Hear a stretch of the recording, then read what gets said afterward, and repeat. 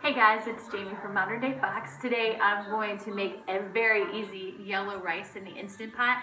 You've probably seen the yellow rice in those little bags that are like 85 cents at the grocery store, but they're full of sodium and other stuff that you don't want in your diet.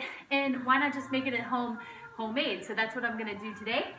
I have basmati rice, which um, I've done two and a half cups here in this steamer basket. And I just use the steamer basket to rinse um, thoroughly in the sink. Um, that way the water just comes right out. Put that in your pot. And this is the fast way, okay? You could saute this in butter or oil if you wanted to. Um, it's totally up to you how much time you want to take, but I like to just dump in the pot. That's what makes it so easy. Um, the next thing we're going to do is take um, three cups of broth. This is homemade chicken broth. This is two cups here. Then I'm going to add a, a third cup This is avocado oil. You could um, use pretty much any oil that you wanted to. I like avocado just because it doesn't have a strong flavor, um, but you can use olive oil if you want. I'm gonna do two tablespoons in there.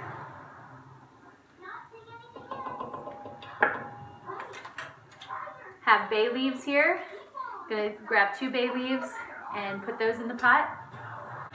Got my two teaspoon and we're gonna do two teaspoons of turmeric Try to make it level.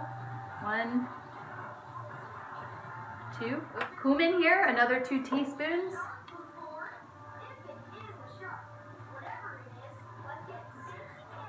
Do one teaspoon of garlic powder.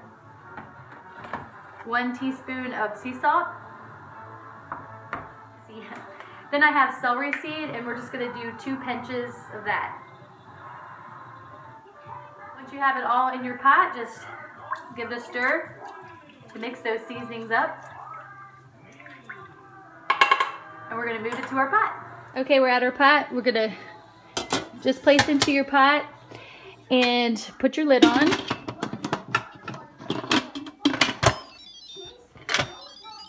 Set your valve to sealing. Now, some people like to just use the rice setting. When I cook basmati rice, I like to set it at high pressure, manual, sorry, manual high pressure, and take it down to six minutes. So I just let it cook for six minutes and then I let it naturally release. So we will be back in roughly 20 minutes. All right, we've got about 11 minutes of a natural release. So I'm just gonna finish up the steam right here. Shouldn't take long for the pen to drop. The pen dropped, so we'll open our pot.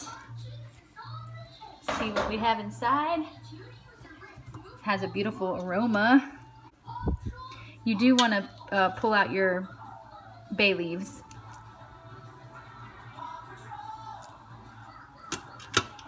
And then just fluff your rice.